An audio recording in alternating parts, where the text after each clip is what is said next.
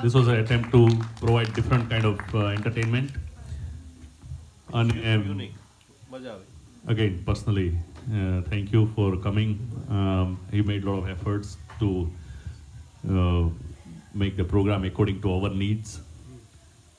Um, because these are very highly, I mean, they look dumb, but they are very highly educated. એટલે એમાં અતુલભાઈ personally લેવાની જરૂર નથી ના, ના, તમે તમે પાછલી રોમાં જોતા હતા મને ખબર ના ના હું અતુલભાઈ સામે જોતો હતો પાછલી રોમાં જ જોતા હતા. हम आपके घर पहली दफा आए पता लग गया हम कौन है नहीं नहीं मैं अतुल भाई के सामने देख रहा था अ, इसलिए please don't take it generally and Atul भाई यू डोंट टेक इट मेरा नाम पर्सनली सुनील सुनील मेरा मेरा नाम सुनील है सुनील का और मेरा नाम भी रईस बुच है अगर so he had to modify and Amni Ben had to work but ultimately it worked out. I hope you guys enjoyed. And he has multiple themes. Uh, Sahir Ludhianvi Kaifi Azmi Gulzar Rafi Lataji. Uh, so whenever he will be visiting we'll be uh, we'll pick up some different theme and go for it. But more over he is known for his Gujarati comedy and subtle uh, humor. And that's we are going to enjoy now so Raise by please continue. Thank you very much Nita Nita કાર્યક્રમનો બીજો વધુ રસપ્રદ અને ખૂબ ટૂંકો હિસ્સો. કેમ કે everybody is tired you are you not you are not okay તો તમને બધાને ના ના ચાલશે આઈ am fine I am fine શુભેચ્છા પાઠવતો નથી કેમ કે સુરતનો છું હું વતની. ધીરેનભાઈ, સુરતનો છું હું વતની એટલે આ આડ લાગે છે. આડ, આરોપ એલિગેશન કે સુરતનો છું હું વતની એટલે આ આડ લાગે છે. શુભેચ્છા પાઠવું છું તો આ સૌને ગાળ લાગે છે. તો આપ સૌ જાણો છો કે આપણી ગુજરાતીઓની રસોઈમાં ગોળથી રસ આવે. પણ અમે સુરતીઓએ અમારી બોલીમાં રસ ઉમેરવા માટે ગોળ ઉપરની માત્રા કાઢી નાખી છે. સુરતીઓની ગાઢ પણ મીઠી હોય. તો આજે તમારી સામે બોલવાનું હતું, થોડો નર્વસ હતો. હું જ્યારે જ્યારે નર્વસ થાઉં છું, ત્યારે ત્યારે હું નારીવશ થાઉં છું. એટલે કે મારી વાઈફને પૂછું છું કે શું કરવું આમ જરા બીક લાગે છે આ લોસ એન્જલસનું એલેનું ઓડિયન્સ છે. તો મારી વાઈફ કાયમ મને મોટિવેટ કરે. મને એમ કે ગીવ યોર હંડ્રેડ પર્સન્ટ કાયમ આમ હું જરા ગભરાઈ ગયો, હું ટેન્શનમાં હોઉં. મને કે ગીવ યોર હંડ્રેડ પર્સન્ટ એટલે એકવાર હું બ્લડ ડોનેટ કરવા જતો હતો ને મને બહુ બીક લાગતી હતી. મને કે ગીવ યોર હંડ્રેડ પર્સન્ટ તો આજે ધીરેનભાઈ સાથે વાત ચાલતી હતી એમણે મને પૂછ્યું કે કયા સબ્જેક્ટ પર બોલશો તમે? આમ હ્યુમર કરશો. પણ કઈ ટોપિક શું હશે? સબ્જેક્ટ શું હશે? મેં કહું ગમે તે સબ્જેક્ટ રાખો. તો બહુ ઇમ્પ્રેસ થઈ ગયા, પ્રભાવિત થઈ ગયા કે તમે કોઈ પણ વિષય પર બોલી શકો છો. એટલે મેં કહ્યું, જેમ પંજાબી હોટલમાં તમે ઓર્ડર ગમે તે આપો, સબ્જી સરખી જ આવે. એમ તમે મને સબ્જેક્ટ કંઈ પણ આપશો, હું મને જે આવડે છે એ જ બોલવાનું છે. એટલે આજે કોઈ ટોપિક નથી. તમે જોજો કે આપણા જે મહાન વક્તાઓ હોય ને મોટા ઓરેટર સ્પીકર્સ હોય ને એ મહાન ઋષિઓ જેવા હોય છે. આપણી સંસ્કૃતિમાં મહાન ઋષિ એને કહેવામાં આવે છે જેની આજુબાજુ અપ્સરાઓ વિહરતી હોય. છતાં પણ એ અપ્સરાઓને ટચ કર્યા વગર પોતાનું તપ પૂરું કરે. એમ જે પોતાના સબ્જેક્ટને ટચ કર્યા વગર પોતાની સ્પીચ પૂરી કરે. એને મહાન વક્તા કહે. તો હા એ સાયકિયાટ્રિસ્ટ બી ખરા. એટલે સાયકિયાટ્રિસ્ટના તો ઘણા બધા જોક્સ છે પણ હવે આજે હા ઘણા બધા છે એટલે મારે મારે સલામત પાછા જવું છે. એટલે નહીં કહું. તો આપ સૌ ગુજરાતી મિત્રો છો અને તમે એક કવિને આજે અહીંયા સાંભળવાના છો. તો આપણા ગુજરાતીઓનો ભાષા પ્રેમ કેવો છે? લેંગ્વેજનો પ્રેમ કેવો છે? આપણે એકવાર કનુભાઈ પટેલ અને એકવાર મનુભાઈ પટેલ, બે મિત્રો એક ટુરિસ્ટ પ્લેસમાં હતા અને ત્યાં એક જેપનીઝ આવ્યો. અને એણે જેપનીઝ ભાષામાં કંઈ પૂછ્યું. એટલે આ કનુ અને મનુ બેઠેલા હતા, એને જેપનીઝમાં કંઈ પૂછ્યું એટલે પેલા એ નકારમાં ડોકું ઢૂણાવ્યું કે ભાઈ ખબર નથી પડતી. એટલે પેલા એ ભાંગી તૂટી અંગ્રેજીમાં પૂછ્યું. એટલે આ લોકો કહે નો ઇંગ્લિશ એટલે પેલા એ જેપેનીઝ માણસે ફ્રેન્ચ ભાષામાં પૂછ્યું સ્પેનિશમાં પૂછ્યું. આ લોકો કે નો, પેલા જર્મનમાં પૂછ્યું. બેકાર, છેવટે પેલો કંટાળીને જતો રહ્યો. તો કનુને જરા ગિલ્ટ થયો અપરાધ ભાવ થયો કે યાર આપણે ડફોડના ડફોડ રહ્યા. આખી દુનિયા ફર્યા, પણ એક પણ ભાષા સરખી આવડી નહીં. તો મનુ કે એમાં શું? કનુ કે ના યાર, આવડતી હોય તો ક્યારેક આવું હોય તો કામ લાગે. મનુ કે જો એવું કંઈ નથી. પેલાને પાંચ ભાષા આવડતી હતી. એક કામ લાગી.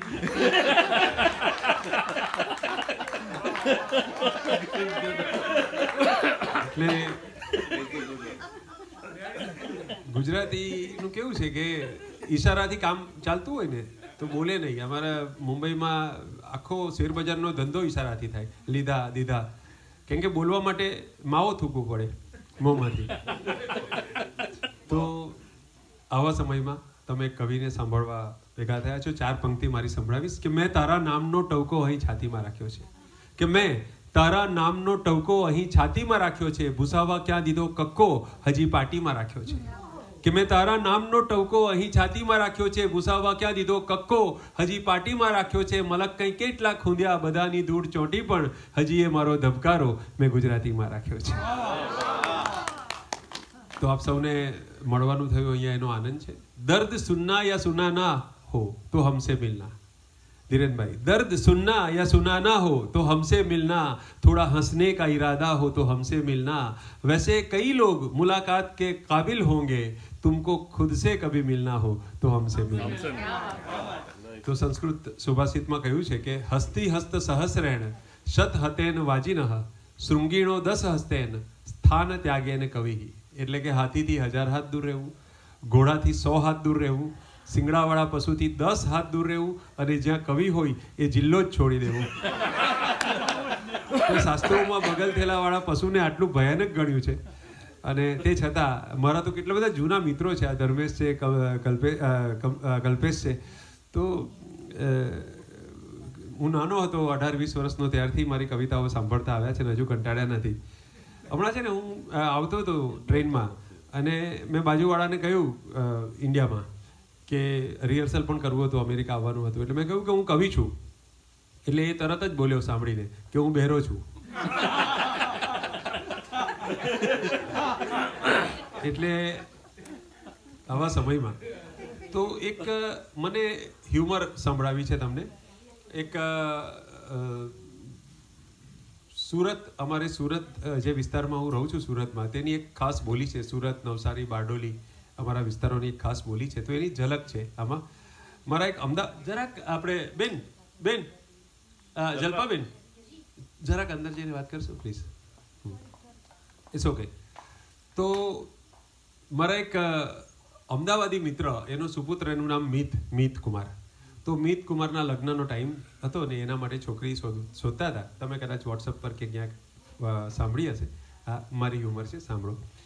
તો મારા એક અમદાવાદી મિત્રના સુપુત્ર મિત કુમારનો સમય થતા એટલે કે એનો કાળ બેસતા. એના માટે કન્યાની શોધ ચાલી. એટલે સમાનાર્થી જ છે, સમય થતા અને કાળ બેસતા એમાં કે તો એના માટે કોણે અલુણા કર્યા છે, શોધી કાઢવાનું હતું. બાપાને બહુ ટેન્શન, છોકરીઓ આજકાલ મળે નહીં જલ્દી. એટલે એ કહેતા કે એને કોણ આપશે? તો મમ્મી કહેતી કે તમને મળીને. પછી ફિલસુફની અદાથી કહેતા કે ભગવાને દરેક પગ માટે એક સેન્ડલ અને દરેક નંગ માટે એક સેમ્પલની રચના કરેલી જ હોય છે. તો મમ્મીને વિશ્વાસ હતો કે કોઈને કોઈ સુકન્યા તો હશે જ એમના આ સુવર માટે. હા, એટલે સારી કન્યાને સુકન્યા કહેવાય. તો સારા વરને સુવર કહેવાય. તો બેટર ચોઇસ અને વાઇટ સિલેક્શન માટે આ પરિવારે દક્ષિણ ગુજરાતના સુરત શહેરના અમારા સન્મુખ સુરતીની કન્યા તરફ નજર દોડાવી. કુંડળી મેચ થઈ, પરિવારો અનુકૂળ હતા. એટલે છેલ્લી ફોર્માલિટી માટે મિત કુમાર કન્યાને જોવા માટે સુરત આવ્યા. તો હવે એનો ભાવિ સસરા સન્મુખ સુરતીની એક જ શરત હતી. શું શરત હતી? પોયરો. પોયરો એટલે છોકરો. હા. કે પોયરો કાંડા લહન ખાટો નહીં જોઈએ. કાંદા અને લસણ, હા? પોયરો કાંદા લહણ ખાતો નહીં જોઈએ. એટલે વૈષ્ણવજન મિત કુમારે પોતે કાંદા અને લસણ ખાય છે, એ છુપાવવાનું હતું. સિમ્પલ, આટલું ચીટિંગ, આટલું કોમ્પ્રોમાઇઝ કરાય. તો ભાવિ સસરાના ઘરે ડોરબેલ વગાડતા બારણાના જાળિયાનું તાળું ખોલીને જમાઈને આવકારવામાં આવ્યા. અને પ્રવેશતાની સાથે શુદ્ધ અને તાજી સુરતી ભાષાની સુવાસ આવી. બારને ટાલો મારી દે ભિખારી અંદર ઘૂસી આવે છે. આવા સ્વાગત પછી સસરાએ નોકરને કહ્યું, ડોફા, હોફા હાફ કર. શું કહ્યું? ડોફા, હોફા હાફ કર. ની તો જમાઈ રાતની પૂઠે બધી હુરટની ઢૂલ લાગી જશે. હોફા હાફ થયો. એટલે કે સોફા સાફ થયો. અને જમાઈ હોફા હાફ કર એટલે સોફા સાફ કરે અને જમાઈએ પૂંઠ ટેકવી. સસરાએ કિચન તરફ જોઈને બૂમ પાડી. આમ, કે ઈંડુ તૈયાર છે? મિતકુમાર હચમચી ગયા. વાત તો એમ થઈ હતી કે આ પરિવારને કાંદા અને લસણનો ભાત છે ને આ લોકો સવારની પોરમાં ઈંડુ પીરસવાની વાત કરતા હતા. એટલે મિતકુમારને થયું કે સસરા એની પરીક્ષા લઈ રહ્યા છે, સસરા એની કસોટી કરી રહ્યા છે. એટલે મિતકુમાર બને એટલી ઠાવકાઈથી બોલ્યા સ્માર્ટલી બોલ્યા કે ઈંડુ મને પસંદ નથી. વડીલ ઈંડુ મને પસંદ નથી ને એકચ્યુઅલી અમારા આખા પરિવારમાં કોઈને ઈંડુ ના ચાલે. એટલે સસરા અકળાયા અરે ઈંડુ પસંદ નહીં મળે તો હું કામ ઉરટ ઉડી લાંબા થયા. આ રીતે અમારા પરિવારની ફજેટી કરવાની. મિત કુમારને સમજાયું નહીં કે સવારની પોરમાં ઈંડું ખાવાની ના પાડવાથી કોઈ પરિવારની ફજેતી કઈ રીતે થાય? છતાં પણ મિત કુમાર બોલ્યા સોરી તમારી સોરીની હું અમારે હોળી કરવાની. સસરા હજુ ગુસ્સામાં હતા.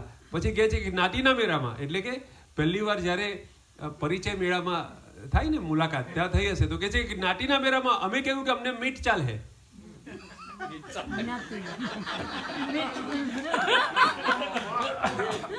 નાટીના મેળામાં અમે કહ્યું કે અમને મીટ ચાલે તો તમારા મમ્મી પપ્પાએ બી કહ્યું કે અમને ઈંડું ચાલે તો હવે પલટી હે ને મારો?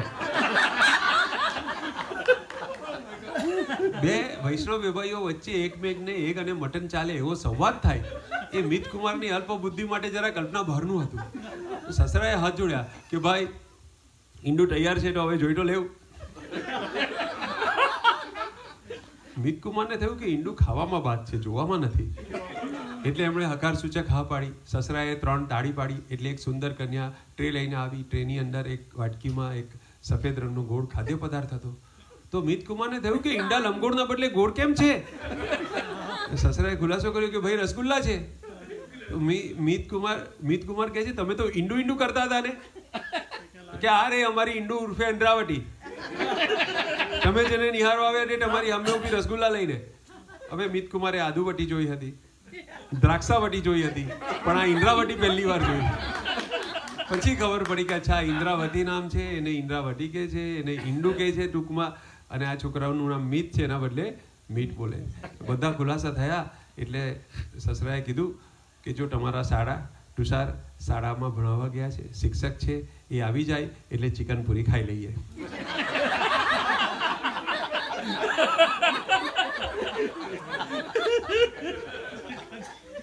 શ્રીખંડ પૂરી પીરસાયા નહીં, ત્યાં સુધી પેલાનો જીવ અંદર રહ્યો.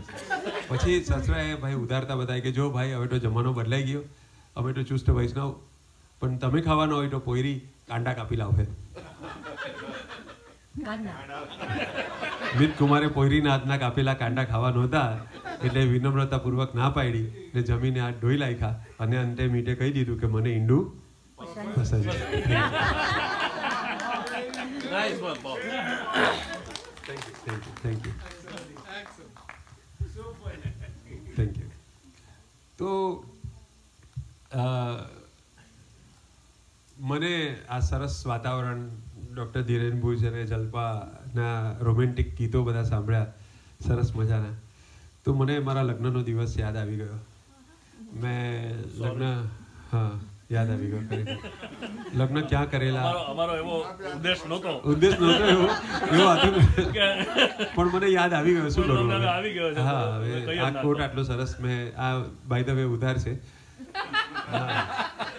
બ્લેઝર બ્લેઝર પારકું છે, કવિતા પોતાની છે. તો સરસ આ બ્લેઝર પહેર્યું તો મને લગ્નનો દિવસ યાદ આવી ગયો કે મેં લગ્ન ક્યાં કરેલા મને બરાબર યાદ છે, લગ્ન ક્યારે કરેલા બરાબર યાદ છે, કેવી રીતે કરેલા એ પણ બરાબર યાદ છે, કોની સાથે કરેલા એ પણ ઝાકું ઝાકું યાદ છે. પણ શા માટે કરેલા? નથી યાદ આવતું. એ મારા લગ્નની કંકોત્રી જેણે જેની પાસે મેં છપાવેલી ને આમ તો પ્રિન્ટર પાસે છપાવીએ પણ એ કોઈ સીધો સાધો પ્રિન્ટર નહોતો, કોઈ સીધો સાધો પ્રેસવાળો નહોતો. એ બહુ મોટો જ્યોતિષી હતો. એ મને પાછળથી ખબર પડી શું થઈ રહ્યું તે વાત કરું તમને. હું મારા લગ્નની કંકોત્રી માટે ગયો અને એને કીધું કે એણે સરસ બધી ડિઝાઇન બતાવી. બધી લાલ અક્ષરથી લખેલી ડિઝાઇન હતી. એટલે રેડ સિગ્નલ ત્યારથી જ હોય છે, કંકોત્રી પર જ હોય છે, પણ આપણને ખબર નથી પડતી કે આમાં કંઈ લાલ ડેન્જર જેવું છે. પણ એનીવે એને કંકોત્રી બતાવી સરસ ડિઝાઇન મેં એક પસંદ કરી. પછી મને કે આ ઉપર પહેલા પાના પર શું લખીએ? એટલે મેં કીધું, વિવાહ છે તો કે, શુભ અશુભ. મેં કહ્યું એ તો હવે ભગવાન જાણે. તું ખાલી વિવાહ છે ના, એટલે તમે હસ્યા પણ ખરેખર જો તમે ઇન્ડિયામાં જાઓ ને લગ્નની વાડીઓ હોય, તો વાડીની ઉપર જાહેરાત લગેલી હોય કે, લગ્ન તથા શુભ પ્રસંગે વાડી ભાડે મળશે. એટલે લગ્ન શુભ પ્રસંગ જ હોય તો ખાલી શુભ પ્રસંગ લખવું જોઈએ. લગ્નની છૂટા પાડીને શું કામ લખ્યું લગ્ન તથા શુભ પ્રસંગે એટલે લગ્ન બેસણું તથા શુભ પ્રસંગે એ એ પ્રકારનું થયું એમ. તો તો મેં કહ્યું કે ભાઈ શુભ અશુભ ઠીક છે તું વિવાહ લખજે. બીજા દિવસેનો ફોન આવ્યો કે રહીશભાઈ કંકોત્રી તૈયાર છે. હજાર કંકોત્રી છાપેલી બંડલ બનાવીને મૂકેલું ને ઉપર એક કંકોત્રી ખુલ્લી હતી. મેં જોયું સરસ છાપેલી કંકોત્રી. પણ ખુશ થઈ ગયો હું કે આટલી સરસ કંકોત્રી. પણ એમાં વિવાહ લખવા કીધેલું મેં એને, તો છેલ્લો અક્ષર હના બદલે દ છાપી દીધો એણે મેં કીધું કે આ શું છે? તો કે આ પ્રિન્ટિંગ મિસ્ટેક છે. મેં કીધું વિવાહના બદલે વિવાદ. તો કે હા પ્રિન્ટિંગ મિસ્ટેક છે પ્રિન્ટિંગ મિસ્ટેક છે. મેં કીધું, આ એકમાં જ છે કે બધામાં છે? અરે કે હોય ઓફસેટ પ્રિન્ટિંગ છે, બધામાં જ હોય ને?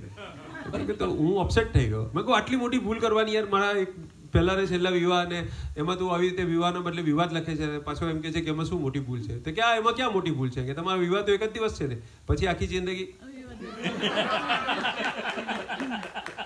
એટલે એ ભવિષ્ય વેતા એને ખબર હતી કે વિવાહ એક જ દિવસ હોય અને પછી વિવાદ હોય. તો મારી એક સુરતી ભાષામાં, એટલે સુરતી અમારી જે સ્લેંગ છે ને, એમાં એક કવિતા છે. તમે કદાચ સાંભળી પણ હશે. તો એ તમને હું સંભળાવું છું. કે આ ધર્મેશ અમારી લોબીમાં હતો, એની સાથે બીજા પણ બે ત્રણ મિત્ર હતા, મારા જુનિયર એમ. તો એ બધા લગ્ન કરતા પહેલાં મારી સલાહ એવા આવે કે રહીશભાઈ લગ્ન કરવાનો વિચાર છે, એમાં કેટલો ખર્ચો આવે? એટલે હું કહું કે કશું નહીં, ખર્ચો શું આવે એમ? વિચારવામાં વળી શું ખર્ચ? તો તો એ લોકોને પછી હું આ બધાને વોર્નિંગ આપતો હતો આ રીતે કે પંડિતને પહતાય તો કેટો નહીં હા. કે જો પરણીને પસ્તાય તો કહેતો નહીં. હવે આ છે ને યુનિસેક્સ હઝલ છે. એટલે બેનો પણ કહી શકે કહેતી નહીં એમ. કે પરણીને પતાય તો કહેતી નહીં એમ કહી શકે. પણ આ હું મેલ એમાં બોલું છું વર્ઝનમાં એવું કહું? એવું તમે બોલજો કે પરણીને પતાય તો કેટો નહીં. ને વાહન જો અથડાય તો કેટો નહીં. ને હમણાં તો કેટો છે કે પાપણ પર ઉચકી લેવું માણસ શું કે? આ તુજે પલકો પે બેઠા લઉં કે હમણાં તો કહેતો છે, કે પાપણ પર ઉચકી લેવું પછી માથે ચડી જાય તો કહેતો તમે આટલી હાઈટ આપી દો તો પછી આટલું જ બાકી રહે. કે હમણાં તો કહેતો છે કે પાપણ પર ઉચકી લેવું પછી માથે ચડી જાય તો કહેતો નહીં હમણાં તો પ્યાર, જાણે રેહમની ડોરી. રેશમ કી ડોર સે ઉસે બાંધ લિયા જાય. કે હમણાં તો પ્યાર, જાણે રેહમની ડોરી, એના પર લુગડા હુકવાય તો કહેતો નહીં. એના પર લુગડા હુકવાય તો કહેતો નહીં ને એની આંખોના અબમાં પંખીના ટોળા. માણસ પ્રેમમાં પડે એટલે કવિતા લખે. અને કેવી કેવી કવિતા લખે? કે એની આંખોના અબમાં પંખીના ટોળા. પછી ડોળા દેખાય તો કેટોની. પછી ડોળા દેખાય તો કેટોનીને હમ ટુ મોર તન્હાઈ, બધું ઠીક મારા ભાઈ. કે હમ, માણસ પ્રેમમાં એકાંત શોધે. કે હમ ટુ મોર બધું ઠીક મારા ભાઈ. પછી પોયરા ચિલ્લાય તો કેટોની. તો એક આમ અમે જે હ્યુમર કરતા હોઈએ ને એમાં ઘણીવાર થોડી આમ બનાવીએ થોડું આમ તેમ બદલીએ. આજે તો એક હ્યુમર મારું એવું છે એમાં જલપા નામ આવે છે એટલે હું નથી કહેવાનું એ. પણ જોઈશું જોઈશું. પણ એક એક સત્ય ઘટના સંભળાવું છું. એ પણ સત્ય ઘટના છે એટલે મારે નામ જલપા એમાં રાખવું પડ્યું. પણ આ છે ને ઓગણીસો ને ધીરેનભાઈ ઓગણીસો ઓગણસી એંસીની વાત. હું નવમા ધોરણમાં ભણતો હતો. અને મારા ક્લાસમાં એક મારો બેચમેટ હતો, એની સરનેમ મોદી? મનિયાર મારી સરનેમ એટલે એમ અને મોદી એટલે એમ. એટલે મારો રોલ નંબર એટીન અને એનો નાઇન્ટીન. પરીક્ષામાં પણ મારી પાછળ નંબર એનો આવે. બહુ ચબરાકને બહુ તોફાની. અત્યારે રાજકારણમાં છે. મારા ક્લાસનો મોદી છે એ વડનગરના મોદીની વાત તો, એટલે પહેલાંથી જ ભણવામાં રસ ઓછો. એના પપ્પાનો પેટ્રોલ પંપ અને પોલિટિક્સમાં જવાનું નક્કી છે તો છતાં હું કહું, કેમ કે કંઈ વાંચે, કંઈ ભણે નહીં. મોદી જરા ધ્યાન આપને ભણવામાં? તો મને કે ભણવાથી શું ફાયદો થાય? તો મેં કીધું કે ભણવાથી બુદ્ધિ આવે, ભણવાથી માનવતા આવે, તો કે રાજકારણમાં કામ લાગે? મેં નડે તો. રાજકારણ એટલે એ મગજને કષ્ટ નહીં આપે. પરીક્ષા હોય એક્ઝામ હોય, લાંબા જવાબ નહીં લખે. સાહેબ, ધીરેનભાઈ, સાંભળજો, હા.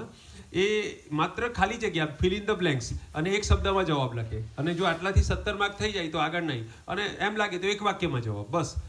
સત્તર માર્ક થાય, પચાસ માર્કની પરીક્ષા હોય એટલે સત્તર માર્ક લાવવાના જવાબ તો એક પણ આવડે નહીં. સવાલ ઉતારી રાખે ને જવાબની જગ્યા ખાલી રાખે. દોઢ કલાક સુધી, બે કલાકનું પેપર હોય એટલે દોઢ કલાક સુધી મને શાંતિથી પેપર લખવા દે.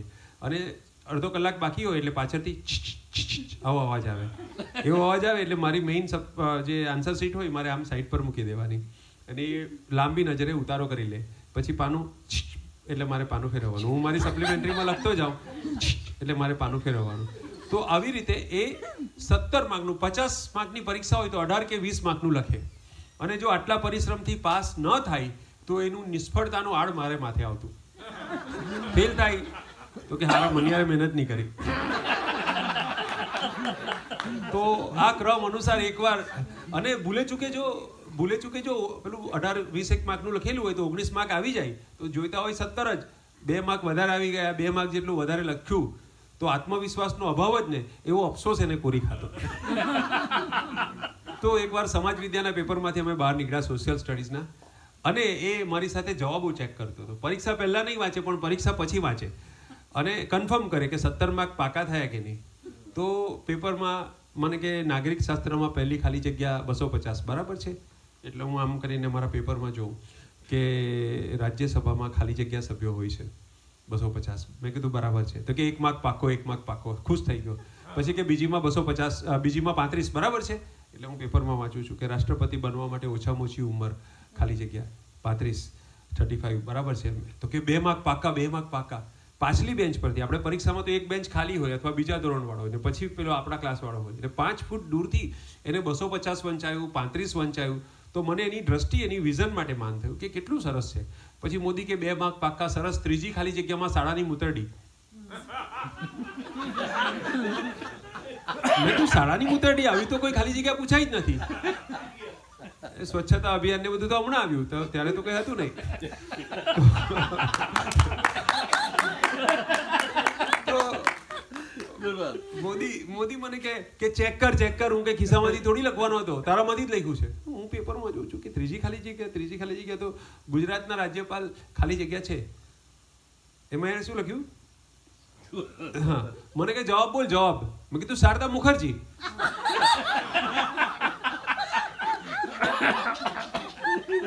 એટલે એને શારદા મુખર્જી ની જગ્યાએ શાળાની મુતરડી વંચાવી એટલે ઉપરથી લખતો લખતો આવ્યો કે બસો પચાસ પાંત્રીસ શાળાની મૂતરડી પછી એની शारदा तब सेवेंटी सेवेंटी नाइन में Sharda Mukherjee was our governor राज्यपाल तो उसने लिख दिया साड़ानी मुतरडी आगे से देख के उसका हाइट ऑफ ऑप्टिमिज्म देखिए પછી કહે છે કે હે મનિયાર અડધો માર્ક તો આપે કે નહીં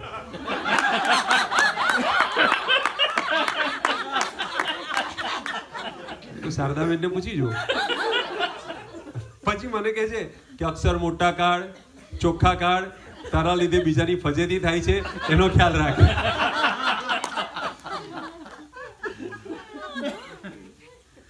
તો એક કવિતા જેની થોડી ઝલક એમણે આપવાની કોશિશ કરી, તે હું સંભળાવવાની કોશિશ કરું છું. ન પેપ્સી, ન થમ્સઅપ, ન તો કોક ભાવે. આ બધું પડેલા હતા ડબ્બા ડબ્બીઓ પણ મેં કંઈ લીધું નહીં. કેમ કે મારી જે વસ્તુ છે એ હતી નહીં કે ન પેપ્સી, ન થમ્સઅપ ન તો કોક ભાવે. રહીશ તો વિતેલા મિલેનિયમનો માણસ. આપણે બધા, તમે જુઓ કે આપણે બધા અહીંયા અમેરિકા દેશમાં આવી ગયા અને બધા સેટ થઈ ગયા અને બધું નવા જનરેશન સાથે આપણા બાળકો, બાળકોના બાળકો સાથે કામ પાર પાડતા થઈ ગયા. પણ હજુ આપણી અંદર એક પેલો એ જૂનો માણસ વસે છે કે જેને નવા જમાનાની વસ્તુ ફાવતી નથી. એની આ વાત છે. એટલે ખરેખર જોવા જઈએ ને, તો હિસ્ટ્રીની અંદર માણસ જાતનો જે ઇતિહાસ છે, એમાં પંદર હજાર વર્ષથી લગભગ આપણી સંસ્કૃતિ છે કદાચ વધારે વર્ષથી હશે, પણ પંદર હજાર વર્ષથી તો આપણે ખેતી કરતા થયા અને પશુપાલન કરતા થયા અને ઘર બાંધતા થયા. પણ છેલ્લા પંદર હજાર વર્ષમાં જેટલા ચેન્જીસ નથી થયા, એના કરતાં વધારે ચેન્જીસ છેલ્લા ચાલીસ વર્ષમાં થયા આપણે જેટલા ચેન્જીસ જોયા છે ટેકનોલોજીના અને વેલ્યુઝના એટલા ચેન્જીસ આગળ કોઈ બીજી પેઢીએ જોયા નથી. તો એ રીતે પણ આપણી પેઢીએ બહુ જબરદસ્ત, એક તરફ આપણે આપણા મા બાપ સાથે કામ પાર પાડીએ છીએ. બરાબર છે, અહીંયા બેઠા છે પપ્પા. તો, અને બીજી તરફ આપણે આપણી નવી જનરેશન સાથે, તમે કેટલા વન એટી ડિગ્રી એક્સ્ટ્રીમ સાથે આપણે કામ પાર પાડીએ. તો આપણી જનરેશન ભલે આપણે સેટ થઈ ગયા છે, પણ કશું કેવું છે? તો એની આ કવિતા છે કે, ન પેપ્સી ન થમ્સઅપ ન તો કોક ભાવે આ મેં બાવીસ વર્ષ પહેલાં લખેલી. અને આની બીજી લીટીમાં જે વાત આવે છે, એ અત્યારે છેલ્લા બે, ત્રણ વર્ષમાં બહુ પોપ્યુલર થઈ ગઈ, પણ મેં બાવીસ વર્ષ પહેલાં લખેલી, સાંભળજો. ન પેપ્સી ન થમ્સઅપ ન તો કોક ભાવે રહીશ તો વિતેલા મિલેનિયમનો માણસ, મળે જો ઉકાળો, તરત ગટગટાવે રહીશ તો વિતેલા મિલેનિયમનો માણસ. એટલે ઉકાળો બાબા રામદેવ નથી લાવ્યા, હું લઈને આવ્યો છું. ન પેપ્સી ન થમ્સઅપ ન કોક ભાવે. રહીશ તો વિતેલા મિલેનિયમનો માણસ. મળે જો ઉકાળો, તરત ગટગટાવે રહીશ તો વિતેલા મિલેનિયમનો માણસ. ન કુરિયર ના એસટીડી ના ફેક્સ કરતો. ન કુરિયર ના એસટીડી ના ફેક્સ કરતો. એ વોટ્સઅપ ને ફેસબુક થકી ખૂબ ડરતો. ન કુરિયર ના એસટીડી ના ફેક્સ કરતો. એ વોટ્સએપ ને ફેસબુક થકી ખૂબ ડરતો. પગે ચિઠ્ઠી બાંધી કબૂતર ઉડાવે. રહીશ તો વિતેલા મિલેનિયમનો માણસ. કે પગે ચિઠ્ઠી બાંધી બાંધી કબૂતર ઉડાવે. ને પિઝાથી ઈજા થાય છે તાળવામાં સારું થયું આજે નહીં મંગાવ્યા તમે? કે દાજી જાય, વાગે, પિઝા મજા નહીં આવે. કે પિઝાથી ઈજા થાય છે તાળવામાં ને બર્ગરથી ગરબડ થતી પેટમાં હે. કે પિઝાથી ઈજા થાય છે તાળવામાં. ને બર્ગરથી ગરબડ થતી પેટ માહે. મળીએ દાળ ઢોકળી, સબડકા લગાવે. રહીશ તો વિતેલા મિલેનિયમનો માણસ. કે મળીએ દાળ ઢોકળી, સબડકા લગાવે. રહીશ તો વિતેલા મિલેનિયમનો માણસ ને અહીંયા બધા મારા મિત્રો છે, ડૉક્ટરો બધા ગોલ્ફ રમે. પેશન્ટ ઓછા જોઈએ ગોલ્ફ વધારે રમે. તો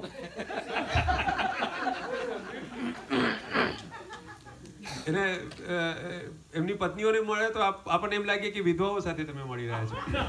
એવું લાગે ગોલ્ફ રમતા હોય એમની વાઈફ. એમ જ લાગે કે આ બિચારી વિધવા થઈ ગઈ છે. તો, ન હોકી, ન સોકર, ન ટેનિસ એ જાણે. આ બધું આવડે નહીં આપણને. ન હોકી, ન સોકર, ન ટેનિસ એ જાણે, ન બિલિયર્ડ, ન રગ્બી, ન પોલો ને માણે. ન હોકી ન સોકર ન ટેનિસ એ જાણે ન બિલિયર્ડ ન રગ્બી ન પોલો ને માણે હજુ એક લખોટી એક ખિસ્સામાં રાખે રહીશ તો વિતેલા મિલેનિયમનો માણસ. કે હજુ એક લખોટી એ ખિસ્સામાં રાખે. અને આ સાંભળજો. હવે હિરોઈનો બદલી નાખી છે ધીરેનભાઈ. ન સોનમ પ્રિયંકા ન શ્રદ્ધા દીપિકા. ન સોનમ પ્રિયંકા ન શ્રદ્ધા દીપિકા અનુષ્કા નહીં ને મલિકા કદી નહીં. હા આ નવી હિરોઈનોમાં મને બહુ ગઢ ન પડે. સમજણ નહીં પડે એમ. જોઉં ખરો. ટીવી પર આવે પણ મારી વાઈફને હું પૂછું એમ એમ બાજુમાં બેઠો ને એમણે એક સરસ ટાઈગર શ્રોફ નામનો છોકરો છે એની સાથે એક હિરોઈન હતી.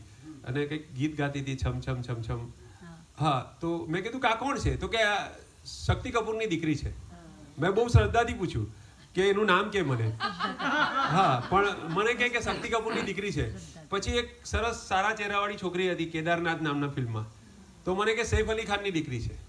નામ ના કે મને કે સૈફ અલી ખાનની દીકરી છે પછી કે આ અનિલ કપૂરની દીકરી છે પછી કે આ સુનિલ શેટ્ટીની દીકરી છે પછી કે આ ચંકી પાંડેની દીકરી છે આવું બધું કે મને. પછી મને ખબર પડી કે આમ કરીને મારો પિતૃભાવ જાગૃત કરવા માંગે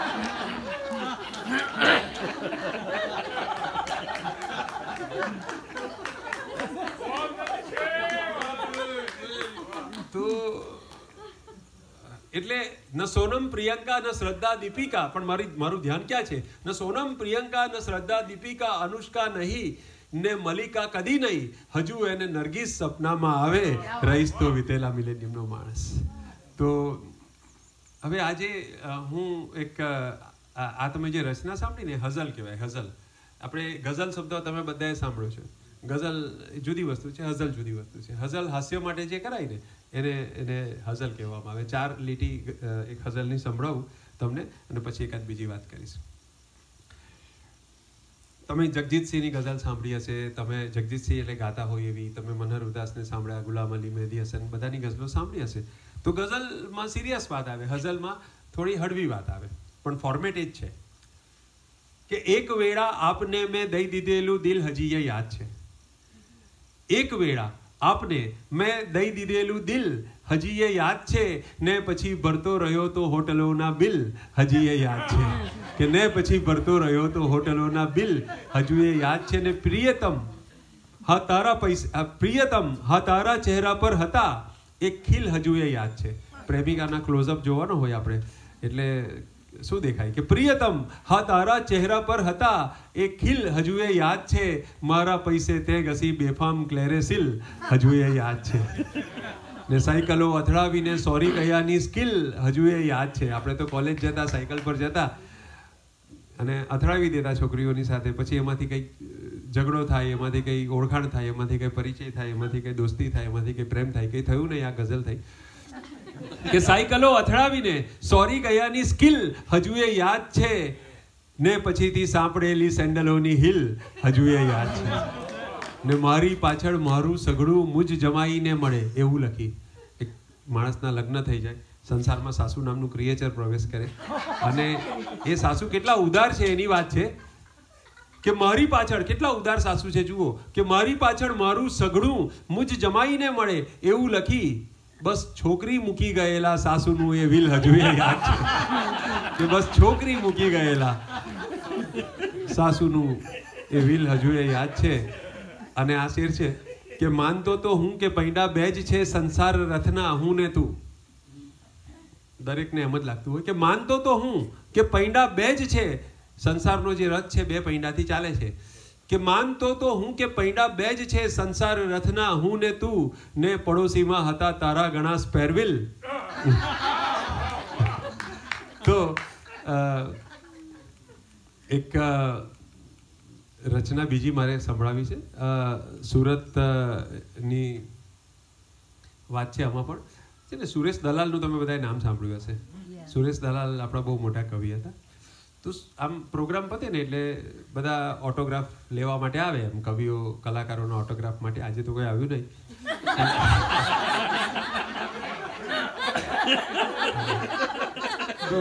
હવે હવે જમાનો બદલાઈ ગયો સાહેબ. હવે છે ને પહેલા છે ને ઓટોગ્રાફ લેવા આવતા.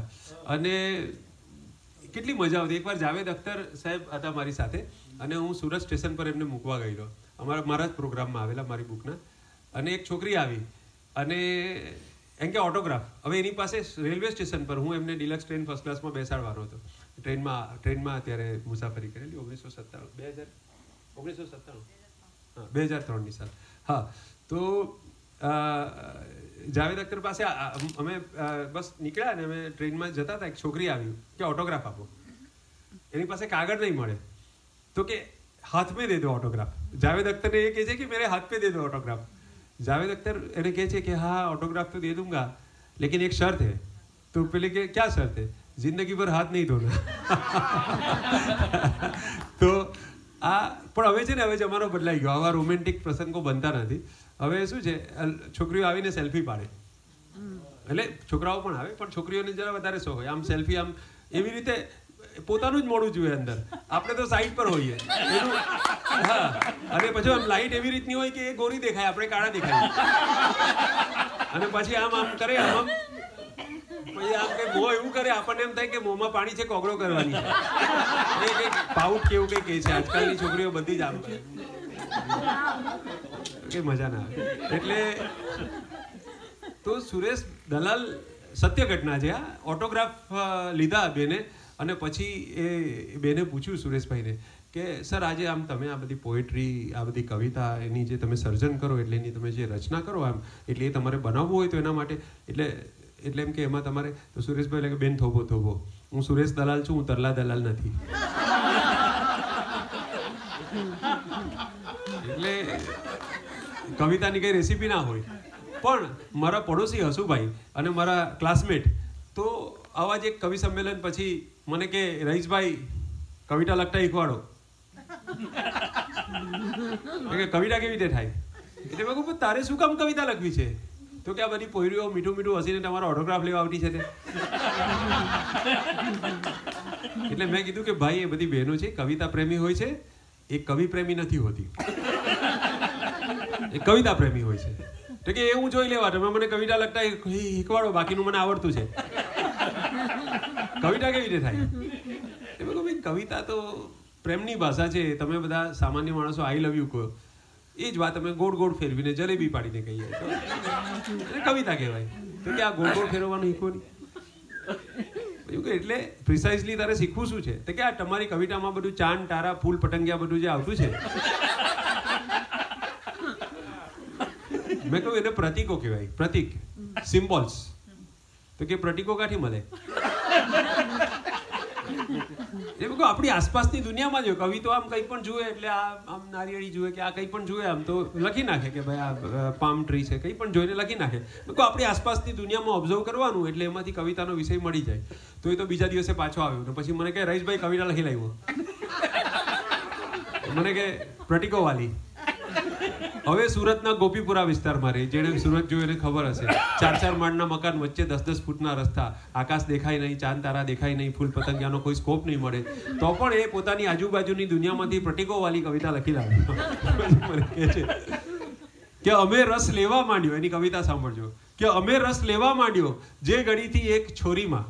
હવે કવિતામાં કેવું હોય? છોરી લાવો ને એટલે છોરીની સાથે તમારે દોરી કે એવું કંઈ લાવવું પડે. પ્રાસ લાવવો પડે. બરાબર છે? રાઈમ લાવવી પડે.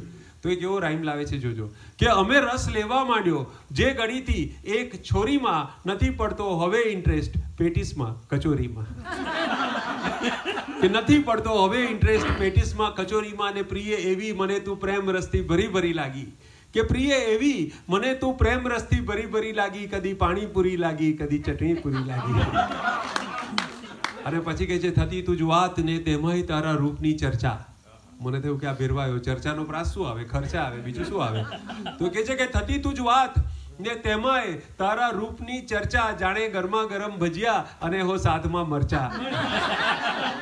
ને હવે મનમાં છવાયો એ રીતે આલમ હતાશાનો. માણસ પ્રેમમાં બ્રેકઅપ થઈ જાય ડિસ્ટર્બ થઈ જાય ડિપ્રેસ થઈ જાય. આ સાયકાટિસ્ટો બેઠા છે, એટલે એમને બધાને ખબર છે કે પ્રેમમાં બ્રેકઅપ થાય તો ઘણાને બેકઅપ મળી જાય તરત. પણ ના મળે તો શું થાય? તો ડિપ્રેશનમાં માણસને કંઈ ગમે નહીં, ઊંઘ નહીં આવે, ખાવાનું ભાવે નહીં, કંઈ ખાય તો કંઈ સ્વાદ નહીં લાગે. બરાબર? તો આ વાત કવિતામાં કઈ રીતે આવે છે? ટેસ્ટ પણ, એને એનહેડોનિયા એમ કહેવાય ને. તો હવે મનમાં છવાયો, એ રીતે આલમ હતાશાનો, હું પેંડા ખાઉં છું, તો સ્વાદ આવે છે પતાસાનો હું પેંડા ખાઉં છું, તો સ્વાદ આવે છે પતાસાનો ને મેં કીધેલું એને કે ભાઈ છેલ્લું જે છે ને, આમ કવિતામાં છેલ્લા શેરમાં છે ને મરવાની વાત લાવવાની. આપણા બેફામ નામના શાયર હતા ને, એ એનો કોઈ પણ ગઝલ તમે વાંચો ને એટલે છેલ્લે મરણ આવે, મઝાર આવે, કબર આવે, આવી બધી વાત આવે. તો આ મરવાનું નહીં, પણ ખાલી મરવાની વાત કરવાની એમ. કે અમે સાથે અમારી કમ નસીબી લઈ મરી જાશું. કે અમે સાથે અમારી કમ નસીબી લઈ મરી જાશું. કફનમાં ફાફડા સાથે જલેબી લઈ મરી જાશું. કફનમાં ફાફડા સાથે જલેબી લઈ મરી જાશું. તો છે હજુ પાંચ દસ મિનિટ સાંભળું છે. ઓકે. તો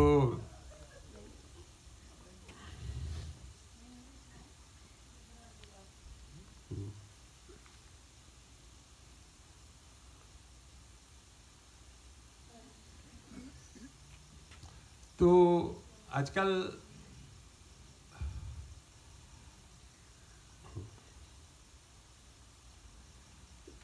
ડૉક્ટરો બહુ બધા છે ને અહીંયા? મેજોરિટી છે. ઓકે તો હમણાં ધર્મેશ મને કહેતો હતો કે મેડિકલ સિસ્ટમ અહીંયાની લગભગ ઇન્ડિયા જેવી જ થવા માંડી છે. એટલે તો આ ઇન્ડિયાની તમે છે ને કોઈ પણ પરફોર્મિંગ આર્ટ કરો ને એટલે તમારે પોતાના પ્રોફેશન પર જોક કરતા આવડવું જોઈએ. એટલે સૌથી પહેલાં મારે કવિ, કવિઓ પર જોક કરવા પડે કે કવિઓ અને બીજા નંબરે મારે ડૉક્ટરો પર જોક કરવા પડે. તો આ, હું ઇન્ડિયાની ઇન્ડિયાની જે મેડિકલ સિસ્ટમથી તમે બધા પરિચિત છો. ઘણા બધા કહેશે કે એના માટે સિસ્ટમ શબ્દ વાપરવો જ ઉચિત નથી. ખાસ કરીને હમણાં કોરોનામાં જે બે અઢી વર્ષમાં થયું. તો આ છે ને મેં પાંચ છ વર્ષ પહેલાં લખેલી, એ તમને સંભળાવું છું. કે બિફોર કોરોના અમે લખેલું પણ તમને મજા આવશે. મારા પડોશી હસુભાઈને તાવ આવ્યો. હસુભાઈ ચાલુ ડૉક્ટર પાસે ગયા.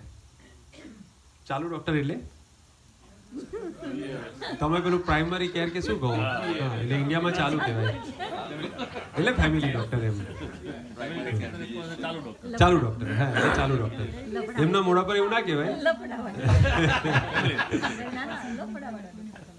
હા. તો બધા હોય. ના એમ નહીં. એમ ચાલુ નહીં. એ- એમ સમજે કે ચાલુ એટલે લફડાવા. હા એટલે એ- અર્થે કાઢી શકાય. કાઢી શકાય પણ આમાં આપણે ચાલુ બસ કોની પાસે દેખાડ્યું કે ચાલુ ડોક્ટર ચાલુ ડોક્ટરે બતાવ્યું પાછળ ત્રણ જણા મૃત્યુ થઈ ગયા. હસુભાઈ ચાલુ ડોક્ટર પાસે ગયા. હવે જોજો ઇન્ડિયાના ડૉક્ટરો શું કરે? ડૉક્ટરે એના પ્રોટોકોલ પ્રમાણે બે દિવસ વાયરલની દવા આપી બે દિવસ મેલેરિયાની દવા આપી પછી બે દિવસ ટાઇફોઇડની દવા આપી. પછી જાહેર કર્યું કે તમને ચિકનગુનિયા હોઈ શકે. હવે હસુભાઈને એમ કે, આ ચિકનગુનિયા તો ચિકન ખાવાથી થાય અને પોતે તો પ્યોર વેજીટેરિયન હતા. એટલે એમણે ડૉક્ટરને કહ્યું કે, બરાબર ચેક કરો ચિકનગુનિયા નહીં હોઈ શકે, આ તો લૂનો તાવ હશે. એટલે ડૉક્ટર બોલ્યા, આ લૂ નથી, આ તો ફ્લૂ છે. ડૉક્ટર ચિકનગુનિયાનું ડાયગ્નોસિસ બદલીને ફ્લૂ કરવા તૈયાર હતા, પણ લૂનું ડાયગ્નોસિસ એને મંજૂર નહોતું. કેમ કે લૂની સારવારમાં શું મળે? કંઈ નહીં. તો ફ્લૂનું નિદાન માન્ય ન હોવાથી હસુભાઈએ ડૉક્ટર મહેતાને છોડીને ડૉક્ટર ત્રિવેદીને બતાવવાનું નક્કી કર્યું. દરેક એરિયામાં બે ચાલુ ડૉક્ટર હોય છે, જેમ પ્રત્યેક કપલમાં બંને વ્યક્તિ પોતાને ઇન્ટેલિજન્ટ સમજે અને બીજાને બોટ સમજે, એવું મોલ્લાના બે ફેમિલી ડૉક્ટરમાં પણ હોય છે. તો હસુભાઈએ તાવનું કારણ પૂછ્યું. એટલે ડૉક્ટર ત્રિવેદીએ પહેલો સવાલ પૂછ્યો. કે પેલો, મેં તો શું કહેતો હતો? એટલે પહેલાં તો એમને ચિકનગુનિયાના એટલે હસુભાઈ કહે છે પહેલા તો એમને ચિકનગુનિયાના તાવ જેવું લાગ્યું, પણ ડોબો છે, આ તો ફ્લૂ છે. ડોક્ટર ત્રિવેદી એક વાક્યમાં બે નિદાન એક સાથે કર્યા. પહેલું ડોક્ટર મહેતાની બુદ્ધિ વિશે અને બીજું હસુભાઈની બીમારી વિશે. એ આખા એરિયામાં બે જ ડોક્ટર હતા, ત્રિવેદી અને મહેતા. બે જ પૂરતા હતા. તો એકવાર છે ને આ બંને જણા, ત્રિવેદી અને મહેતા મહેતા સાહેબ, હા, તો આ ત્રિવેદી અને મહેતા એક સ્મશાનમાં એક માણસના અગ્નિદાહમાં ભેગા થઈ ગયા. હવે બંને ખુશ નહોતા દેખાતા, કેમ કે એવી વિઝિટ હતી જેમાં વિઝિટ ફી મળવાની હતી ઇન્ડિયામાં તો જવું પડે ને આ બધી જગ્યાએ આપણે. તો બંને જણા અદબ પાડીને ઉભેલા પેલા માણસની ચિતા સળગે છે ભડભડ. તો ત્રિવેદી મહેતાને પૂછે છે કે, તારી દવા ચાલતી હતી? એટલે મહેતા કહે છે કે, ના, તારી દવા ચાલતી હતી. તો ત્રિવેદી કહે છે કે, ના, તો પછી આ મર્યો કઈ રીતે? તો દરેક જન્મ અને મરણમાં ડોક્ટરોનો હાથ હોય છે. તો આ ડોક્ટર ત્રિવેદીનું ફ્લૂનું નિદાન પછી હસુભાઈએ માન્ય રાખ્યું. પણ હસુભાઈએ કહ્યું કે મેં તો સાંભળ્યું છે કે સાદો ફ્લૂ હોય તો માત્ર રેસ્ટ લેવાથી સારો થઈ જાય. એટલે ત્રિવેદીએ બીજો ધડાકો કર્યો કે ભાઈ સાદો ફ્લૂ નથી, માત્ર રેસ્ટ નહીં ચાલે ટેસ્ટ લેવા પડશે. અમારે એમાં તો ટેસ્ટમાં કમિશન હોય ઇન્ડિયામાં. તો હવે સાદો મેલેરિયા અને ઝેરી મેલેરિયા આવે એવી હસુભાઈને ખબર હતી. હસુભાઈના એક મિત્રએ એમને સમજાવેલું કે આ ભાઈ આ સાદો અને ઝેરીમાં શું ફરક? તો ડૉક્ટરો અમુક વર્ષ પછી છે ને મેડિકલ ટર્મિનોલોજીના બદલે બીજી જ રીતે સમજાવે. એટલે ડૉક્ટરે કહ્યું કે જો સાદા મેલેરિયાની સિઝન હોય ને તો ડૉક્ટરના બારણે અલ્ટ્રો કે સેન્ટ્રો નાની ગાડી આવે. ઝેરી મેલેરિયાની સિઝન હોય તો ડિઝાયર કે આઈ ટ્વેન્ટી એવી હેચબેક કોઈ ગાડી આવે. તો હવે સાદો ફ્લૂ ને ઝેરી ફ્લૂ પણ આવે એવી હસુભાઈને ખબર નહોતી. એટલે ત્રિવેદીએ ડૉક્ટર ત્રિવેદીએ પ્રકાશ પાડ્યો કે ભાઈ, તમારા લક્ષણો તો બર્ડ ફ્લૂ અથવા સ્વાઇન ફ્લૂ જેવા છે. એટલે હસુભાઈને ખ્યાલ આવ્યો કે ત્રિવેદી ઇનોવા કે જાઈલો લેવાની વેતન એસયુ લેવા એસયુ લેવા માંગે. એટલે હસુભાઈએ પહેલો સવાલ એમ પૂછ્યો. આપણે ત્યાં સવાલ બહુ પૂછે કે ભાઈ, માણસોને થતો હોવા છતાં બર્ડ ફ્લૂ ને બર્ડ ફ્લૂ કેમ કહેવામાં આવે છે? તો ડૉક્ટર ત્રિવેદી હસ્યા. કેમ કે એની સારવાર દરમિયાન દર્દી મોટે ભાગે ઉડી જાય છે.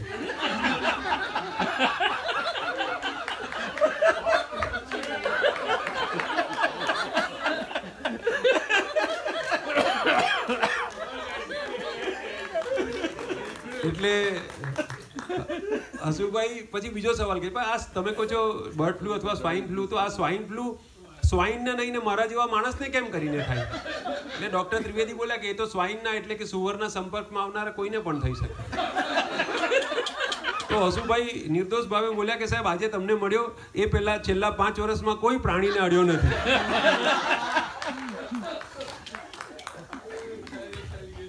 છેલ્લે હસુભાઈએ મુદ્દાનો સવાલ કર્યો, પણ ડૉક્ટર આ સ્વાઇન ફ્લૂની સારવાર શું? એટલે ડૉક્ટરે પણ છેલ્લો સચોટ સારવાર કર્યો. મેડિક્લેમ છે? ભાઈ ઇન્ડિયામાં મેડિક્લેમ હોય તો જ એડમિટ કરાવીને તો જ કમાણી થાય. બાકી એટલે હસુભાઈને થયું કે પલ્સ ફિલ કરીને દવા આપનારા નાડી વૈદ્યોનો એક જમાનો હતો. હવે પર્સ ફિલ કરીને દવા આપનારા અનાડી વૈદ્યોનો જમાનો આવ્યો છે. આજકાલ દર્દીઓને પણ એપેન્ડિક્સ પાકે, આપણે ને એપેન્ડિક્સ એપેન્ડિસાઇટિસ તો એપેન્ડિક્સ પાક્યું એમ કહેવાય. તો આજકાલ દર્દીઓને પણ એપેન્ડિક્સ પાકે એનું બહુ દુઃખ નથી થતું. કેમ કે સાથે સાથે મેડિક્લેમ પણ પાકે છે. લોકો મેડિકલ મેડિક્લેમ પાકે ને તો એમ લોટરી લાગી એવું લાગે, એમ પૈસા વસૂલ થઈ ગયા, એવું થાય. તો હસુભાઈ બીમાર પડ્યા સ્વાઇન ફ્લૂના વાયરસ જે ઝડપે વિશ્વભરમાં ફેલાયા, એના કરતાં વધુ ઝડપે એમના મિત્રો પરિચિતોમાં આ સમાચાર ફેલાયા. હસુભાઈની એવી દુર્દશા બેઠી કે લિફ્ટમેન વોચમેન બધા એમને શું કરવું એની સલાહ આપવા લાગ્યા. કોઈએ કડવા લીમડાના પાન ચાવવા કહ્યું તો કોઈએ મીઠા લીમડાનો વઘાર કરીને કડવી મેથી ખાવા કહ્યું તો કોઈએ બના, બનારસી પાન ખાવા કહ્યું તો કોઈએ બનારસી પાનના બદલે મધેરા પાનને વધુ તંદુરસ્ત ગણાવ્યું. હેમાબેને તો ભોળાભાવ ભાવે, એમની વાઈફનું નામ હેમાબેન, કે હેમાબેને તો ભોળાભાવે ભાવે મદિરા નામનું પાન ક્યાં મળે એની પણ તપાસ કરી. તો સામે કેટલાક સુરતીઓ સ્વાઇન ફ્લૂને વાઇન ફ્લૂ સમજ્યા. અને હસુભાઈને કહે વાઇન ફ્લૂ થઈ ગયો ભાઈ, પીવાનું ઓછું કરો. તો હસુભાઈને આરામ નહીં મળે તો રામ બોલો, ભાઈ રામ થઈ જવાની શક્યતા હોવાથી અને ખાસ તો એમનો મેડિક્લેમ હોવાથી એમને હોસ્પિટલમાં દાખલ કરવામાં આવ્યા, નક્કી કરવામાં આવ્યું. હસુભાઈ જાતે એક્ટિવા પર જઈ શકે. એક્ટિવા એટલે આપણું ટુ વ્હીલર હા. કે હસુભાઈ જાતે એક્ટિવા પર જઈ શકે એટલા એક્ટિવ હતા. પણ એમના સુપુત્ર એમિસની ખૂબ ઈચ્છા હતી. બાપાને એકવાર એમ્બ્યુલન્સ પર ચડાવવાની. તેથી એકસો આઠ બોલાવવામાં આવી. નાઇન વન વન હોય, અમારે તો એકસો આઠ હોય. તો આ એમ્બ્યુલન્સનો ડ્રાઈવર છે ને, મગન મીંડી, એ પાછો મારો ઓળખીતો. મને એકવાર કહેતો હતો કે, રહીશભાઈ, કેમ કે આ બધી શાયરીઓ હોય ને એમ આપણે એમ કે ટ્રકની પાછળ લખેલી હોય, પછી આપણે એમ કે રિક્ષાની પાછળ લખેલી હોય એમ. પેલું હોય ને પેલું, શું હોય? કે ઉડતી હૈ રિક્ષા, ચલતી હૈ ધૂલ ને એવું બધું હોય ને, ચલતી હૈ રિક્ષા, ઉડતી હૈ ધૂલ ને ઇસકે હાથ મેં ગુલાબ કા ફૂલ ને. મેં કહું બરાબર છે, પણ એ બધું હું નથી લખતો. તો તો કહે છે, ના, પણ મારા એમ્બ્યુલન્સની પાછળ એક શાયરી લખવી છે મારે. એમ. તો મેં કીધું કે ભાઈ એવી એમ્બ્યુલન્સની પાછળ કેવી રીતે કે ના ના પબ્લિકને એજ્યુકેશન મળે, લોકોને થોડી જાગૃતિ આવે. એવી એમ કે શાયરી લખવી છે. એટલે પછી મેં એને એક લખી આપી. એ શાયરી એની એમ્બ્યુલન્સની પાછળ લખેલી હતી. એ સાંભળો. કે ઘારી સુરતની ફાંકડી, ભૂસા ભજીયાના ઠાઠ. કે ઘારી સુરતની ફાંકડી ને ભૂસા ભજીયાના ઠાઠ જો કોઈ પચાવી ના શકે, એને ઉપાડે એકસો આઠ. એકસો આઠની પાછળ ના લખાવી. કે ઘારી સુરતની ફાંકડી ભૂસા ભજીયાના ઠાઠ જો કોઈ પચાવી ના શકે, એને ઉપાડે એકસો આઠ. તો આ એકસો આઠ આવી ગઈ હસુભાઈ માટે. તો ચારેક જણાએ હસુભાઈને ઉચક્યા, જીવતા હતા, જરૂર નહોતી તો પણ ઉચક્યા. અને એમ્બ્યુલન્સની અંદર ધકેલ્યા. અંદર હસુભાઈને આવકારવા માટે બીજા આઠેક જણા પહેલેથી હાજર હતા. ઇન્ડિયામાં જરૂર કરતા વધારે માણસો ભેગા થઈ જાય. કોઈ પણ જગ્યાએ જરૂર પડે એના કરતા.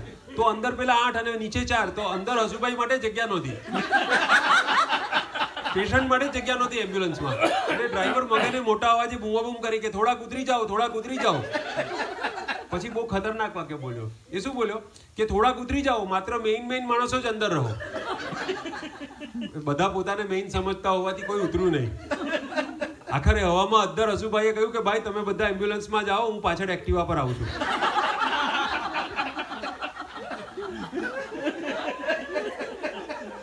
જેમ તેમ જગ્યા થઈ.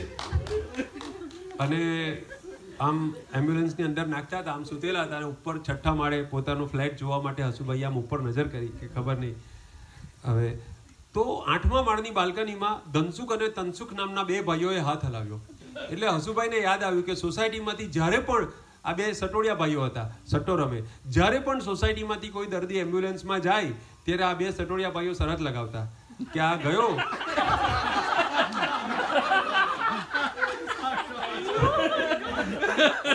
એમ્બ્યુલન્સમાં વાંચવું આવશે કે સબ એટલે હસુભાઈ દાખલ થયા, એટલે બધા મિત્રો પરિચિતોના ફોન ચાલુ થયા. બાબુ બાટલીનો ફોન આવ્યો. હવે ઇન્ડિયામાં છે ને આ બધા ઉપનામ હોય, તમારે ત્યાં આ આખી આખું સુખ જ નથી.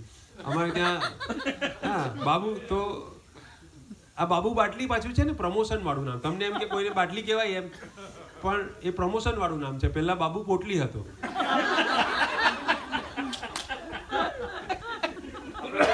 દેશી દારૂ હોય ને, દેશી, એ પોટલીમાં મળે એટલે એને પોટલી કહેવાય. પછી બાટલી તો અપગ્રેડેડ વર્ઝન આવે. એટલે બાબુ બાટલીનો ફોન આવ્યો કે હસુભાઈ હું બાબુભાઈ બોલું. એટલે હસુભાઈ કે, કોણ બાબુભાઈ? બાબુ, બાબુભાઈ. એટલે પોતાને, પોતાની ઓળખાણ આ નામથી પડીને એટલે પોતે જ પોતાનું ઉપનામ યાદ અપાવવું પડ્યું કે, હું બાબુ બાટલી. તો કે બાટલી એમ કે નહીં તું વળી ક્યારથી ભાઈ થઈ ગયો? બાબુ કે એ વાત મેલ ને બોલ કાચે તું બધા કે તારી તબિયત સારી નહીં મળે. એટલે હજુભાઈ કે કઈ કઈ થયું નથી મજા કરું છું બાટલીઓની વચમાં છું. હે? લેબલ વાંચ લેબલ બ્લુ રેડ બ્લેક. એટલે હજુભાઈ કે છે જો ત્રણ જાતની બોટલ છે આજુબાજુમાં દવાની બાટલી સલાઈનનો બાટલો અને ઓક્સિજનનો બાટલો. એ બાબુ બાટલી કે છે "ઓ, આ લોકોએ તને હોવડાવી દીધો એમ જ ને? કયા નંબરની રૂમમાં છે? મેં આવતો છું કંઈ ખાવાનું લઈ આવું? હસુભાઈ કે છે કે ડૉક્ટરે ખાલી લિક્વિડ લેવા કહ્યું છે. એટલે બાબુ બાબુ બાટલી કહે છે, ચાલ, હમણાં તારારું લિક્વિડ લઈને આવ્યો. તારારું તરોપામાં લાખીને લાવતો છું. કોઈને ખબર નહીં પડે, જરા ગરમાટો રહે. કઈ રૂમમાં છે? એટલે હસુભાઈએ જવાબ આપ્યો એક્સપેન્સિવ કેર યુનિટમાં છું. હસુભાઈ ઇન્ટેન્સિવ કેર યુનિટના બદલે ભૂલથી સાચું બોલી ગયા. એક્સપેન્સિવ કેર યુનિટ અત્યારે જે કોરોનામાં કમાણી કરી છે ડૉક્ટરોએ અમારે ત્યાં તો બાબુ બાટલી કે હું વાત કરે સિરિયસ છે? નાકમાં નલ્લી બલ્લી તો નહીં નાખેલી મળે ને? એટલે હસુભાઈ કે અરે ભાઈ, એકદમ ઘોડા જેવો છું. આ તો ડૉક્ટરે ખાલી ઓબ્ઝર્વેશન માટે દાખલ કર્યો છે. બધાને ઓબ્ઝર્વેશન માટે છોડે. તો કે ઓબ્ઝર્વેશન એમ કે, આ કેવી ટ્રીટમેન્ટ આ તો મને ખબર જ નથી. એમાં શું કરવાનું હોય? તો હસુભાઈ કે, પલંગ પર સૂતો સૂતો સિસ્ટરોને ઓબ્ઝર્વ કરું છું.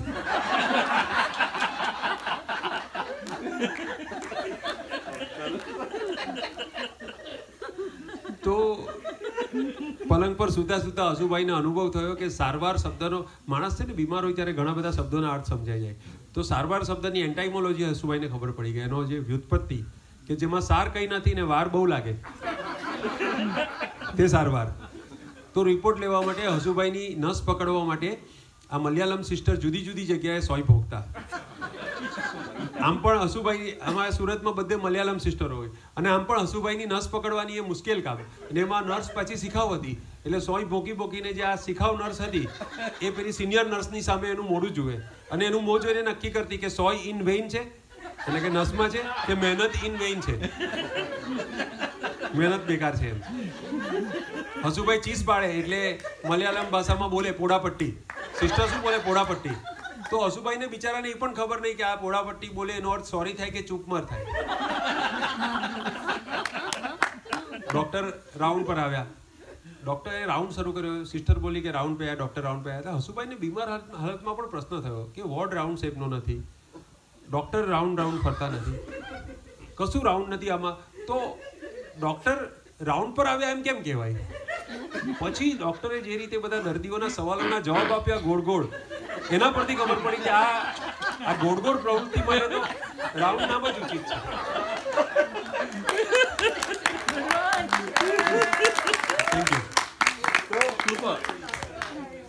તો હસુભાઈ હોસ્પિટલમાં આવ્યા, ત્યારથી ડૉક્ટરે પછી આમ અમારા ઇન્ડિયામાં છે ને, ડૉક્ટરો ચેક કરે ને, તો પેલા ડૉક્ટરે ચાર સેકન્ડમાં પહેલાં અડધી અડધી સેકન્ડ છાતી પર આગળ ચાર વાર સ્ટેથોસ્કોપ લગાડ્યું અને અડધી અડધી સેકન્ડ પાછળ ચાર વાર લગાડ્યું. એટલે હસુભાઈએ કીધું કે સાહેબ, આમ આ ટચ કરો તો એનાથી સારું થઈ જાય. તો કે ના, આ તો આ સ્ટેથોસ્કોપ છે, આનાથી ધબકારા, શ્વાસ, આ બધું ખબર પડે. પછી કે ઇમ્પોર્ટન્ટ છે, લિટમેન કંપનીનું છે. તો હસુભાઈ કહ્યું, સાહેબ, અમે આઠમા ધોરણમાં એમ ભણેલા કે એક મિનિટમાં સિત્તેરથી એસી ધબકારા થાય. એમાંથી તમારે બે સાંભળવા હોય તો પણ દોઢ સેકન્ડ આ મૂકી રાખવું પડે. અને એક શ્વાસ અને એક ઉચ્છ્વાસ સાંભળો તો પાંચ સેકન્ડ રાખવું પડે. તો કે, ડૉક્ટર કે, એટલે તમે ચાર સેકન્ડમાં મારા શરીરની આઠ સાઈડ વિઝિટ કરી નાખી. તમે ડૉક્ટર શું કામ બન્યા? તમારે તો આર્કિટેક્ટ બનવાનું હતું. ડૉક્ટર કોઈ દિવસ દર્દી પર ગુસ્સે ન થાય. એ સિસ્ટર પર ગુસ્સે કાઢ્યો. અભી તક રિપોર્ટ ભેજા કે નહીં? હવે સિસ્ટર સોય ગોચવામાં અને હિન્દી સમજવામાં એક સરખા ઢ હતા. એટલે ડૉક્ટરે બીજો સવાલ પૂછ્યો, ભેજા હે કે નહીં તમારે દિમાગમાં હવે સિસ્ટરને પહેલા સવાલમાં સમજ પડી રિપોર્ટ ભેજા કે નહીં એમ? ડોક્ટરે બીજો સવાલ શું પૂછ્યો ભેજા હે કે નહીં તમારે દિમાગ મેં તો પેલીએ જવાબ આપ્યો, ભેજા નહીં.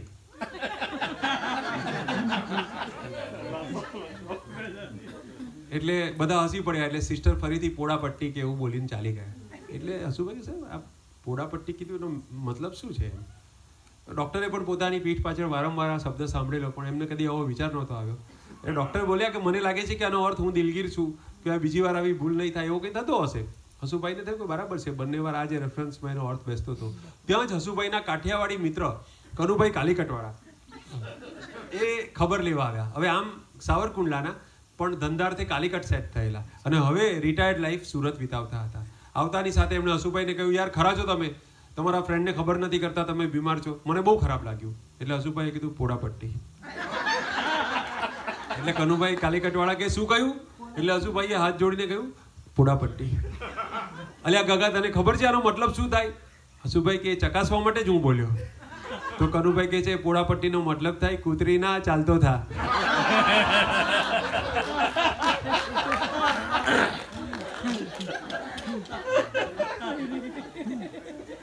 તો હું જ્યારે મહાવીર હોસ્પિટલ સુરતમાં રેસિડેન્સી એટલે મારી ઇન્ટર્નશિપ કરતો હતો ને, ત્યારે અમારે મલયાલમ સિસ્ટરો પાછળ આવી રીતે બોલે પોડાપટ્ટી પોડાપટ્ટી એટલે એ મારા મનમાં હતું કે હું ક્યારેક કોઈક વાર આને અમર કરીશ એમ. Fine thank you thank you so much તો બરાબર છે? ચાલશે? એટલે પૂરું કરીએ ને એમ કહું છું.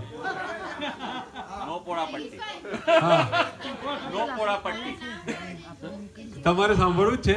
સાંભળવું જ છે. સારું સારું ચાલો ઓકે એ છે ને છેલ્લું, આ છેલ્લું. આ, આનાથી આપણે પૂરું કરીએ. હા. રાઉન્ડ રાઉન્ડ પૂરો કરીએ. સરસ સરસ સરસ. બહુ ઠંડી છે અને તમે બધા ખાસું મોડું થયું છે અને આ લોકો પણ છે એટલે. આજકાલ ઇન્ડિયામાં આપણી ઉંમરના લોકો છે ને મેમરી તાજી કરવા માટે રિયુનિયન અથવા એલમનાઈ બનાવે એલમનાઈ એસોસિએશન અમારી બેચ થર્ટી નાઇન તો બેચ થર્ટી નાઇનનું આ લોકોની બેચ ફોર્ટી ફોર કે જે હોય તો તો આ રિયુનિયનમાં મિત્રો બધા મળે ત્યારે કેટલા બદલાઈ જાય. તેના વિશે એક ચાર પંક્તિ છે. ડૉક્ટર ફિરદોસ દેખાઈયાની પંક્તિ છે. બીજી ચાર પંક્તિ મારી છે, ચાર એમની છે. તો સાંભળજો. કે સૌ યાર જિંદગીની મજદારમાં મળ્યા.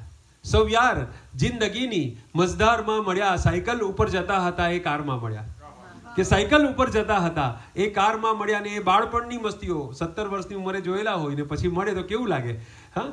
કે સૌ યાર જિંદગીની મજદારમાં મળ્યા સાયકલ ઉપર જતા હતા, એ કારમાં મળ્યા, એ બાળપણની મસ્તીઓ બદલાઈ ગઈ જરા. કોમ્પ્લાન જે પીતા હતા, એ બધા બારમાં મળ્યા. કોમ્પ્લાન જે પીતા હતા, એ બધા બારમાં મળ્યા. અને જે પોચકા હતા, હવે મેટલ થઈ ગયા. જે પોચકા હતા, બધા મેટલ થઈ ગયા, માણસને જે બની ગયા, કેટલ થઈ ગયા. અમેરિકા બધા આવ્યા બધા અલગ અલગ જગ્યાએ મુંબઈ અમદાવાદ ગોઠવાઈ ગયા. જે પોચકા હતા હવે મેટલ થઈ ગયા. માણસનો જે બની ગયા હવે કેટલ થઈ ગયા. ને મેડલ સહુ કટાઈ ગયા રેન્કરો તણા. કે મેડલ સહુ કટાઈ ગયા રેન્કરો તણા. ને એટી કેટી વાળાઓ સેટલ થઈ ગયા. તો મેં જોયું છે કે એનઆરઆઈઓ પણ આપણે છે ને ઇન્ડિયામાં બે પ્રજાતિઓ ડિસેમ્બરમાં ડિસેમ્બરમાં આવે. એક પેલા પંખીઓ આવે, ફ્લેમિંગો. અને એક એનઆરઆઈઓ આવે. તો એનઆરઆઈઓની વાઈફ તો બધી ખરીદી માટે આવે શોપિંગ માટે આવે. અને એનઆરઆઈ બિચારા પેલા શોપની બહાર લટકતા, ભટકતા, રખડતા હોય. પણ એ કંઈક સાવ નિરર્થક નથી હોતો એનો ફેરો. જે પતિઓ હોય છે, એ લોકો પણ પોતાની ફેસબુક પર કે એમ તેમ પોતાની could have been would be પ્રેમિકાને શોધતા હોય છે. Could have been would be પ્રેમિકા તો એલમનાઈનો એક પર્પઝ પણ એ જ છે કે ત્યારે તો મનાઈ હતી. આપણા જમાનામાં તો બોલતા પણ નહીં, વાત પણ નહીં કરતા. તો ત્યારે તો મનાઈ હતી, અત્યારે મળી લઈએ.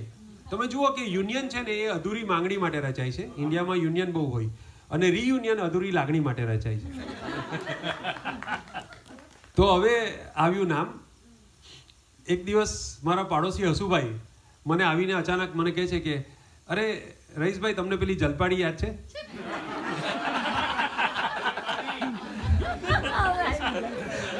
એટલે એટલે મેં કહ્યું, કઈ જલપા? જો હવે આ છે નામ, તો આ જ નામ રાખ્યું છે, બસ? હા. હા. એટલે હસુભાઈ મને કહે છે કે સાતમા ધોરણમાં આપણા ક્લાસમાં હતી તે આપણા બધાની સહિયારી સ્વપ્ન સુંદરી. સહિયારી સ્વપ્ન સુંદરી. કેટલો સરસ જમાનો હતો કે બધું બધું સહિયારું એમ. અને હવે મોટા થઈને બધું આપણે આપણું આપણું કરતા થઈ ગયા. ત્યારે તો આ સ્વપ્ન સુંદરી બી સહિયારી હતી. તને બી નથી મળવાની મને બી નથી મળવાની. તો રાખને સહિયારી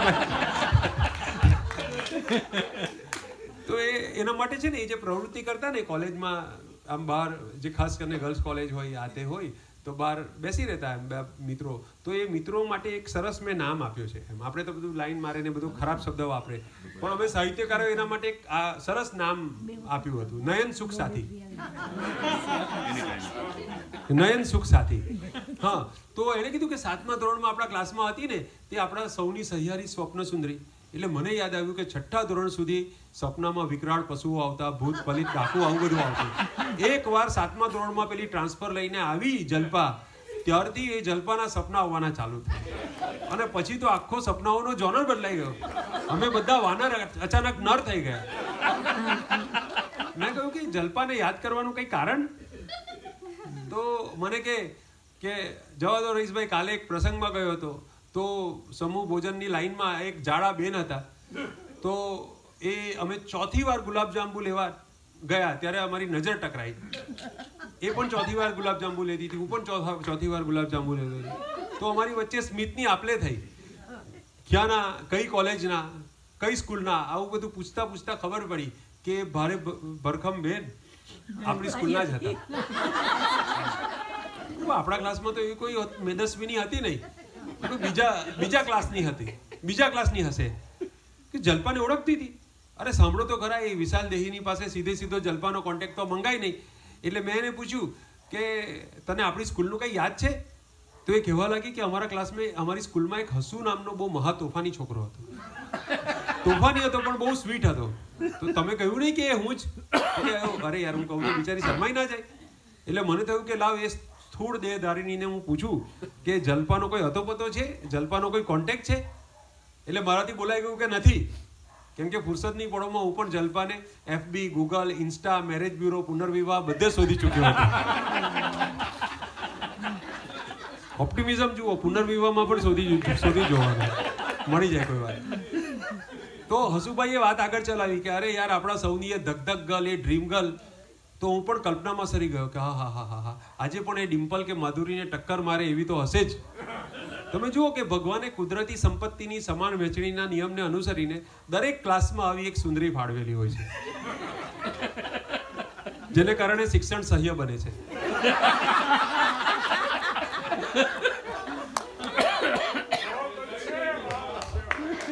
તો હસુભાઈ એકદમ ઉત્સાહમાં અરે યાર. મેં તો વિચારી પણ નાખ્યું કે જો આની પાસે જલપાનો કોન્ટેક્ટ મળી જાય ને, તો આપણે પણ ભૂતપૂર્વ વિદ્યાર્થીઓનું એલ્યુમિનિયમ બનાવી નાખીએ.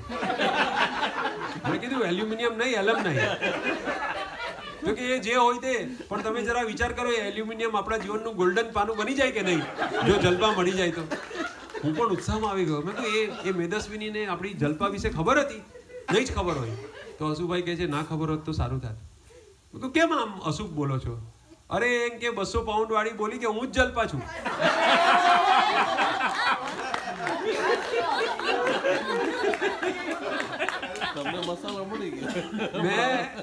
મેં કહ્યું કે યાર યાર તમે પણ શું તમે તમે આપણી જલપાને ના ઓળખી શક્યા હસુભાઈને કહું છું. હસુભાઈએ ડુસકું મૂકવાનું જ બાકી રાખ્યું. અને પછી જે સિમિલી આપી તે જોજો એને જે સરખામણી આપી તે જોજો કે જેમ રામાયણમાં વાલીઓ લૂંટારો રાફડાના થરની નીચે ઓળખાય એવો રહ્યો નહોતો એમ ચરબીના થરની નીચે આપણી જલપા પછી મને કહે છે કે કવિ, આપણી ડ્રીમ ગર્લ આપણી ડ્રીમ ગર્લ હવે ડ્રીમ ગર્લ મટીને ડ્રમ ગર્લ બની ગઈ. હવે અમે પાછા કવિ રહ્યા, અમુક શબ્દો તો વપરાય નહીં. એટલે મેં કહ્યું, કે, એટલે અમે જેને જલપાડી કહેતા, એમાં આગળથી જલ નિસરી જતા. હવે માત્ર, આમ તો કહેવાય નહીં. એટલે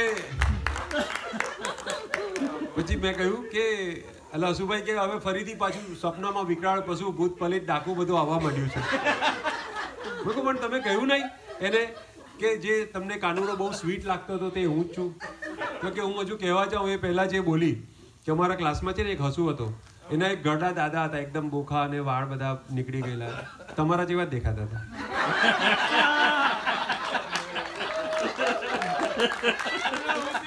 Thank you. Thank you very much. Thank you so much. Thank you so much.